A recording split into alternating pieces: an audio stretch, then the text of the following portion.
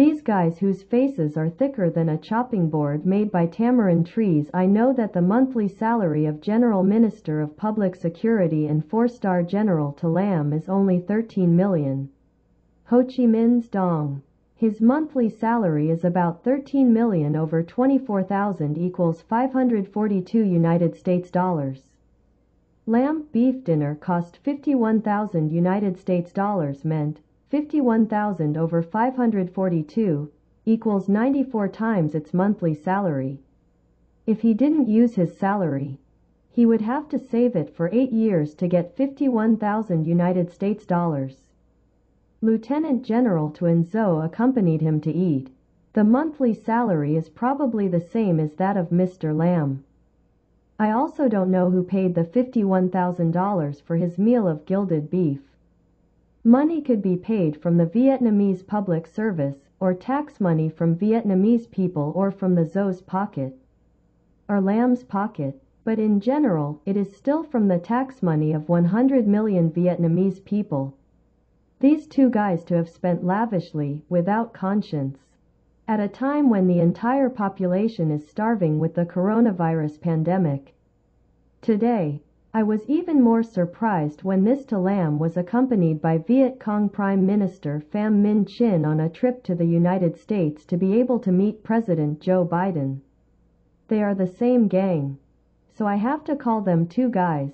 I have no other way to call them. Why I have to call them Mr. My conscience won't allow it. I am a human being. I can be sad, happy, or angry. I am very angry. And I have the right to be angry on behalf of all my Vietnamese people. The Viet Cong cadres ate it luxuriously like that, saying why Vietnamese people are always poor. The faces of these guys must be thicker than tamarind boards. Yet no one has the power to punish them. I resent To Lam and To An Xo one. I resent Nguyen Phu Trong perhaps 100, 1000 times more. Because I clearly see the crime of this Trong, the crime of covering up corruption of Lam and Xo. It was this Trong who signed the certificate of commendation for Viet A Company. To bring the price of the test kit up to the blue clouds to pickpocket all Vietnamese people, and also caused the deaths of 40,000 Vietnamese people because of fake test kits. This money corruption I hate one, but power corruption is Trong, I hate 100 times, 1000 times. Trong is almost 80 years old, sick when walking around, has to wear diapers. But still tramples the party rules to continue holding the position of General Secretary for the third term. Even though, before that, this guy Trong promised. He only did one half more of the second term.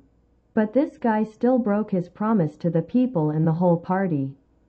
Guys like this, how can I call him Mr.? I have witnessed his tamarind cutting board selling red, char shao, meat. It's very thick, maybe it takes years to cut the meat, it's a little worn.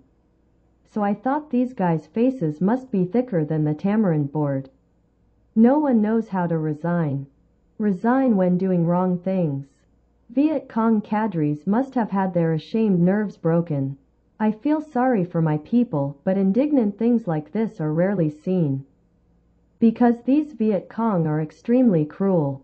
They have AK-47 guns, electric whips, batons, wave breakers, sonic cars that punctured the eardrums of protesters, and prisons all over the country. To imprison patriots.